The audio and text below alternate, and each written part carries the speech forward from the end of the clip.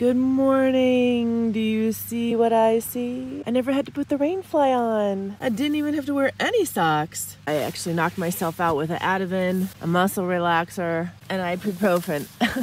Oh, I wanted to make sure my muscles got all relaxed, no inflammation. I'm already hot. It's 8 a.m.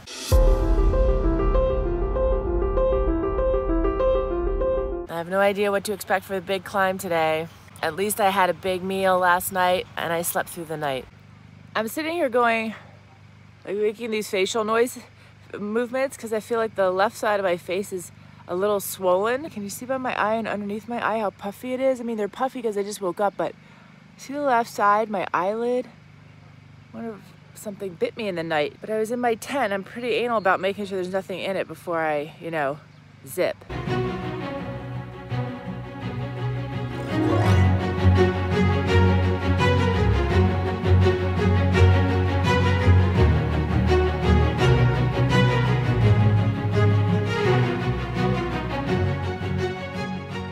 Getting water, and these people are all getting ready to go out on an awesome whitewater adventure. I have only gone three miles, no, yeah, I've only gone three miles and 730 feet, and I'm sweating like I've never have on this trip. This is gonna be hard. I'm climbing up to 8,000 feet, and I'm tired. The guy said that you're gonna run out of water for 25 miles, the guy who wrote the article, and I believe this is the stretch from the Snake River up to the top of whatever the name of the summit is that I'm going to. This is gonna wipe me out from the heat. I can't call on a miracle for the climb I'm approaching, but I can call on Clif. I need you to push my ass up this next massive climb because I'm barely making it on 8% walking with my bike. One packet equals half a bar of blocks. So I'm gonna have the blocks. We've gone almost five miles. We've climbed 1,751 feet. And for perspective, yep, that's us. See all the switchbacks, ziggy, ziggy, ziggy, ziggy? According to where I'm standing and looking across, I'd say we're about halfway. See how gnarly it is? And then your bike slides and your feet slide like I just did. I have 40 PSI in my front tire and 50 in the back. These Clif Bloks totally work. I can like feel this in my system because I'm not hyperventilating. I knew this before this trip. I used to use them road biking, but not until I was like really exhausted. A lot of people just gel, gel, gel. I, I kind of like to see what my body can do without it and kind of train my body to push itself without assistance. I'm probably shouting right now because I usually lose my hearing when I've exerted myself. It also could just be sweat that's running down into my earlobes, into my ears, and down my earlobes. The Clif Bloks, I could put one in each cheek and I'll just let them slowly dissolve. So it's sort of giving that to me like slowly. If I'm doing some type of a race or I'm racing against myself, my time, my PR, whatever on Strava, I like the gel this the one squeeze because like boom off you go but no matter how much boom I give myself right now there is no off I go except like a little turtle a lot of these that you get to come down, you're like, oh yeah, I finally get to come down, but it's really dangerous. You hit some of these, they look little, but that'll send you into the air. And when you have a heavy bike, heavy packs, plus your body, bang and down, slam it down on the ground, then skid out. The road down from Morgan Pass didn't have much of that. Gouges, in the road. Most people are probably going to be taking this south. You're going to be coming down this thing, and it is very sandy. started way down there. Only seven miles in. Seven miles, 2,700 feet. I'm to rewrite the Wild West route. He said this is a monster climb, and they do tell you how much climbing you're to do for the whole segment, but I think it needs to be broken down when it's super gnarly like this one. This is the grade, this is how many miles long it is, whether you're going north or south and this is the terrain. Because, you know, the word monster, like, well, what does that mean? Totally can't hear myself. Forest development ranger or whatever he was. I had to make him stop. He wasn't going to stop. And when I brought up water source, I was waiting for him to say, well, here, here's a bottle or something. He didn't offer me anything. And he's like, wow. So he said, once I get up there, I pretty much have three miles. It's giving me permission to drink more of my water A truck passed me earlier and they're like, wow, that must be hard. What's interesting is almost everybody that passed me on my way to Challis from Stanley asked if I was okay, if I needed water or anything. Not one person here has. I'm walking, huffing and puffing. People are like, hi. Not that it's their responsibility. It's just, you know they have their coolers and I just I just couldn't imagine not stopping and offering somebody on a bicycle some water. My arm hurts so much right now. I'm so tired I can't even hold the cell phone up. I can't even speak apparently. Here's where we hiked our bike. The rest of it is around the other side of the mountain. This is the hardest hike I've ever done. I'm not carrying a backpack, I'm just pushing a bicycle.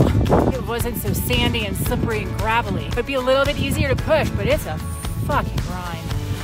I'm not at the top yet, but I'm really close. That first guy go, when is there gonna be water? And he's like, well, now he was coming from this direction. There might be a little still water, but you know, I don't know how good the water is. I said, yeah, but I have one of those water purifiers and I'm thinking any water will do. Do you happen to hear that sound?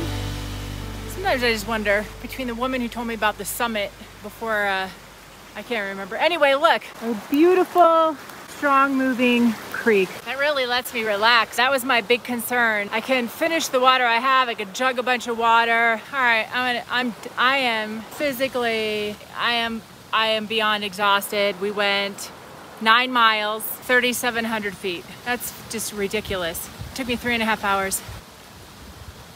Fuck, I need to get off this summit though, wherever it is. It's coming up. You can feel the cool air because I think I'm at 8,000 feet and I want to start going down because I freeze my ass sleeping up here. Bike packers! How are you? Hi, where are you guys coming from?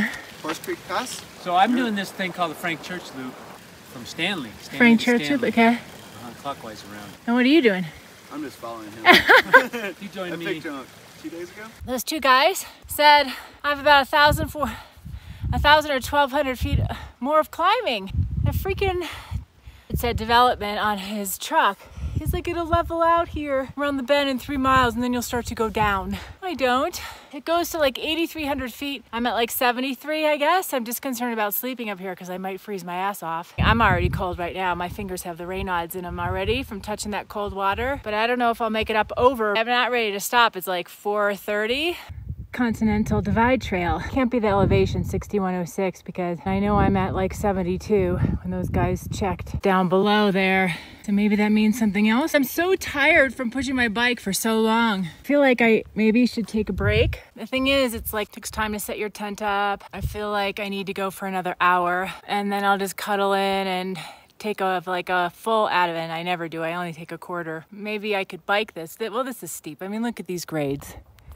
You know, these grades are around 14%. So I just, so I'm so tired. I can't bike even the grades that are like 8%. I, I start and then I'm like, uh, and I get off pushing my bike. This has been a, the hardest day ever. You see that? That's steep for me carrying all this weight. On a road bike, I'd be fine. See how it gets really gnarly on each side? There's nowhere really to camp. I just said that about going another hour. And then I saw this nice spot I have a feeling it's gonna be windy, so I tied down the tarp really tight. It's only 5 p.m. I have two liters of water that I got earlier, and then I have this. I was literally using this to wash myself, like my crotch and my armpits. The moment I'm sitting there like naked, somebody starts coming down the road. Oh my God, I can't hold the phone up. I think I'm just airing out my shorts because there's no stream. The heat will magic magically disinfect them. Should do something, shouldn't it? The other really great thing, there is no bear scat anywhere. I walked around, I walked down to the woods a little bit, around there. In fact, there's no animal shit at all. I'd love to see a bear way over there. My chain is skipping. Like when I try to put it in the easy gear, I feel like it wants to skip to the next one down. Wouldn't stay here, it would jump. Oh, there is a chunk of dirt in there my Nekteck 21 watt solar charger. It's charging great. Yeah, that's all I have to say about that. I'm feeling really lightheaded and I had the fluid and I was taking a gel, the gummies, the peanut butter packets. It was so hot and so much exertion, especially in a physical position that I'm rarely in. 10 and a half miles, 4,300 feet. That's crazy. Hence why I hike a bike to pretty much all of it except three miles. So I'm anxious to make dinner. I'm kind of out of it, so this piece might not run real fluid. We're dining on perky jerky, Wagyu beef jerky, and Idaho Spuds Supreme Baked mashed potatoes since 1933. These are actually really popular for hiking and stuff because it's kind it's not too heavy. It's two cups of water. I'm gonna use this packet even though it's not designed to put the water in here. I'm gonna see what happens because I don't want to get my pot dirty since I have nowhere to rinse it off. To light our little fire, I was using Esbit those little pellets. But since I'm out of the Esbit, I'm using this. Everyone calm down. I'm I put that there so it doesn't blow away. I'm taking it with me. Quick fire. Lights any fire fast. We'll have to see if that's true. I need to keep the flame going long enough to get the water hot. I want it in the direction of the wind's not blowing. So I don't want the handles of my pot to burn. I don't want you to tip over because you're awfully tilted. there's my half-ass setup. I ended up pouring them in the pot because it was too complicated to hold the plastic bag. I'm just too tired. This is the whole bag. Instant mashed potatoes. And the water wasn't even close to boiling. It was just really warm. See, it was good enough. I will leave my campsite because even though there's no bear scat or whatever, I just would prefer to, you know, play it safe. What a gorgeous place to dine.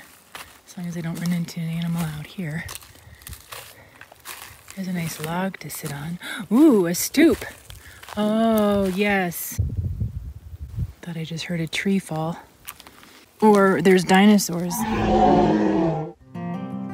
And by the way, the minute I hear a branch crack, I'm out of here. I'm going back to my tent. I am sleeping with my bear spray tonight. And yes, I did go over on how to use it. You look at it, you're like, oh, this is easy. I'll remember. No, not necessarily food. The bear could easily just grab this bag because they can get to him from their hind legs and just carry it off. So we're just trying to focus on the ground animals. Even a mountain lion could go on his hind legs and reach that. When these branches are really weak, these are all dead. So there's where I'm sleeping. I hung it here. It's far enough away. I just took a branch and put that over. So the stuff is inside odor-proof bag that I paid like $11 for. A stupid little Ziploc water odor-proof bag. We'll see if those work. The black bag is is a waterproof bag, so that should eliminate scent to a degree. I hope you don't see me tonight. Because if you see me, it's because something is happening with animals outside my tent. Getting ready for tonight so I'm not freezing my butt off. These are just yummy sleeper socks, smart wool thicker socks, the Pearl Izumi cycling leggings. See how they only go from here to here, but they're fuzzy. They're meant for the winter. Women's winter fuzzy leggings. Like you get them at TJ Maxx. I think I got this for $12. It has some down in it. It's really light. Wool sweater. And underneath this, stretchy. I have Raynaud's so my fingers get cold super fast. Wilderness technology from recreation outlet. Yeah, these rock. Gosh, my hands look so old. They're so dry. Electronics in my bear thing. And I always use these little meshies for like toilet paper. My Roka shades, I absolutely adore. Don't want anything happening to them. My headlamp, chapstick. I sleep with my electronics. I keep them inside the sleeping bag near my feet. It makes a big difference because the cold can eat up your batteries really fast. I would leave your phone, your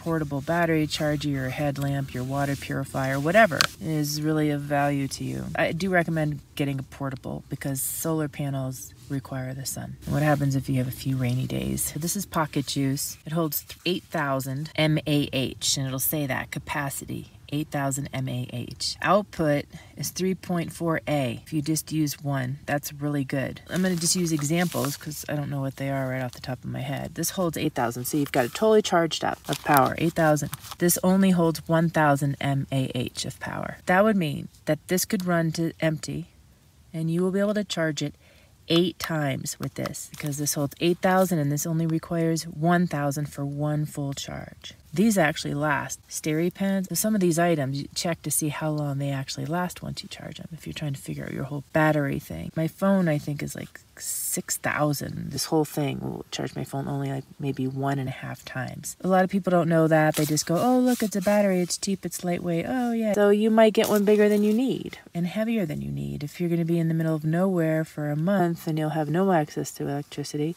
you know, you might want something that has 24,000 mAh. Just when you thought it was over, just when I thought it was over. The other important thing, and I believe I mentioned this when I go over solar panels, output's really important. Think of it as the higher the number, the faster it's going to send the power to your device. Once you use both ports, you're splitting the power, kind of. That's it.